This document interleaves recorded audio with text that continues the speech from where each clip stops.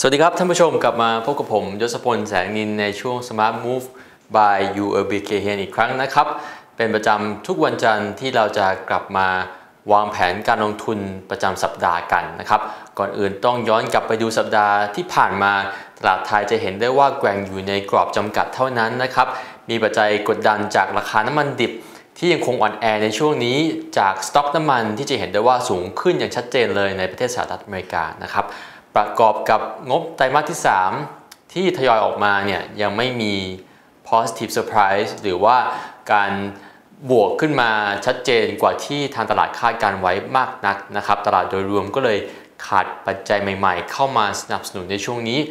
พร้อมกับมีปริมาณการซื้อขายที่ค่อนข้างเบาบางต่อเนื่องนะครับ อีกอย่างหนึ่งคือมีความกังวลเรื่องเศรษฐกิจจีน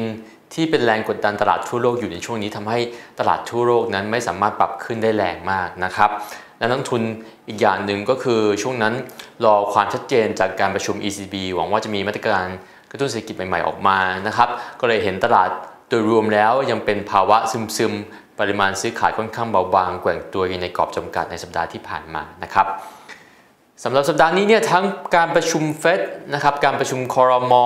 ตัวเลขเศรษฐกิจของไทยที่จะทยอยออกมานะครับโดยเฉพาะตัวเลขส่งออกอันนี้เราต้องติดตามกัน แนะนำเก็บหุ้นเมื่อดัชนีย่อลงใกล้ 1,400 จุดนะครับเป็นไปได้สูงที่ดัชนีจะพักฐานลงมาบริเวณนี้ เพราะว่าบัญชีบริษัทหลักทรัพย์นั้น ตั้งแต่ต้นเดือนตุลาคมที่ผ่านมาซื้อไปมากถึง 12,000 ล้านบาท ก็อาจจะ take profit ทำให้เรานั้น ซื้อเก็บหุ้นได้บริเวณนี้ 1,400 จุดนะครับ แล้วก็เอาไปขายกันเมื่อดัชนีเด้งกลับขึ้นไปใกล้ ๆ 1,430 จุด ช่วงนี้เหมาะกับการเล่นสั้นนะครับ แนวรับ 1,400 แนวต้าน 1,430 จุด สัดส่วนการลงทุน 50%เงินสด 50%หุ้นในพอร์ตแนะนำทยอยขายทำกำไรหากดัชนีอยู่เหนือบริเวณ 1,420 จุด เข้าใกล้บริเวณ 1,430 จุด เริ่มสะสมหุ้นเมื่อดัชนีย่อลงนะครับ เน้น หุ้นพื้นฐานดีได้ประโยชน์จากโครงการรัฐ และได้ประโยชน์จากค่าเงินบาทที่อ่อนค่าลงเป็นหลักนะครับ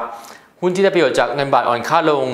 นะครับวันนี้เอามาฝากเป็นตัว KCE นะครับ KCE เป้าหมาย 69 บาทนะครับกำลังปิดโรงงานลาดกระบังเก่ากำลังการผลิต 6 0 0 0 0ตารางฟุตต่อเดือน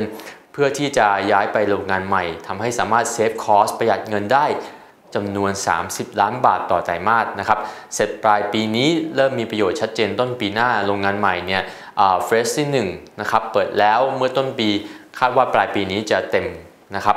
มีประสิทธิภาพมากกว่าด้วย เป็นเฟรชที่มีอนาคตไกลนะครับ ก็ถือว่าเป็นสัญญาณที่ดีปิดโรงงานเก่า แล้วไปใช้โรงงานใหม่ที่มีประสิทธิภาพมากกว่านะครับ อีกอย่างหนึ่งคืออุตสาหกรรม PCB ในรถยนต์เนี่ย มีแนวโน้มเติบโตดีขึ้นอย่างต่อเนื่องนะครับ cost ของอิเล็กทรอนิกส์ในรถยนต์ต่อคันเนี่ยจะเพิ่มจาก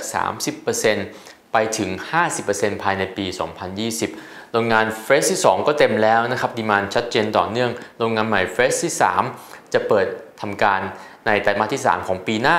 นะครับสำหรับกำไรเนี่ย Q2 ทำ new high ไปแล้ว Q3 ก็มีโอกาสทำ new high ต่อเนื่อง margin สูงนะครับ เพราะมีโรงงานใหม่เฟส1เฟส2ที่ลาดกระบังเนี่ยมีประสิทธิภาพมาก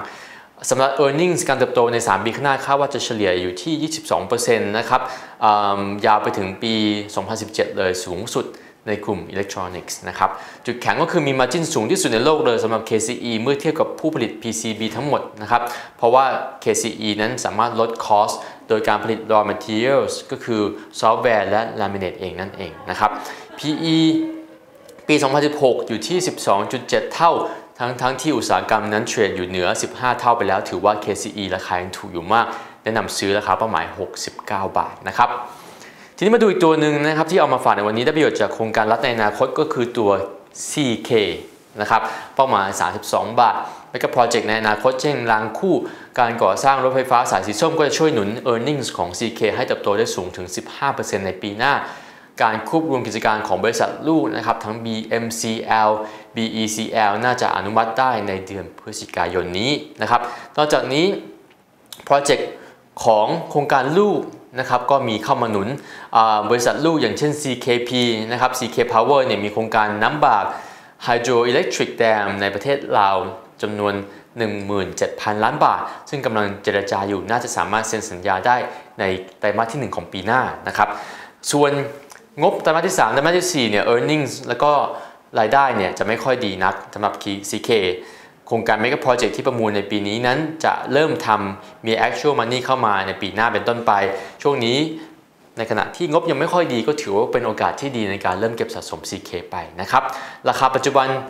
ของ CK ให้อัพไซด์สูงกว่าคู่แข่งทั้งหมดอย่างเช่น ITD Stake นะครับ CK เนี่ยนะครับเป้าหมายให้ไว้อยู่ที่ 32 บาทนะครับ ก็ฝากไว้เท่านี้ก่อนวันนี้นะครับ ช่วงนี้หมดเวลาลงแล้วสำหรับ ผมยศพลแสงนินในช่วง Smart Move by UOB k h i a n กลับมาพบกันได้ใหม่ในวันจันทร์หน้านะครับ สวัสดีครับ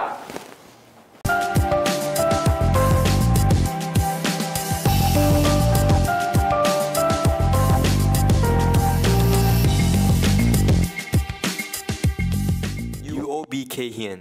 your trusted financial partner.